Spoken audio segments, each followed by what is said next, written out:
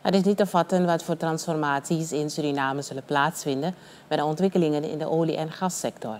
Dit zei Rodolf Elias, senior advisor bij Ernst Young, eerder op een symposium over de olie- en gassector in de congreshal. Volgens Elias zullen olie en gas nog zeker 100 jaar een deel zijn van de energievoorziening op aarde. Wat er gaat gebeuren. Maar dat heeft zo verschrikkelijk veel impact.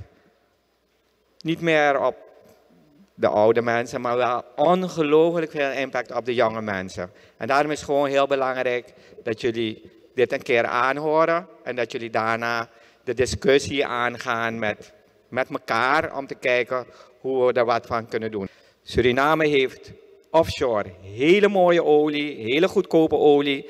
En wij gaan een van de suppliers zijn die nog minstens 100 jaar onderdeel gaat zijn van de energy mix. Gewoon heel belangrijk om te weten.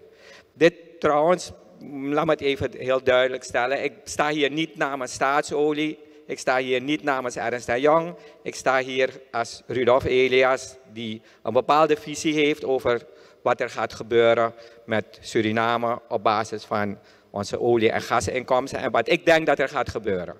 Net zoals dat ik heel lang geroepen heb, we gaan olie. Op een gegeven moment werd er zelf grappen over gemaakt. Van hij gaat weer zeggen dat we olie gaan vinden. En uiteindelijk hebben we het gevonden.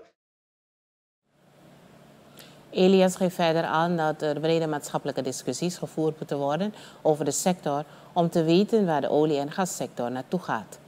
Hij benadrukt dat het soms ongelooflijk is hoe sterk Suriname staat als olieland.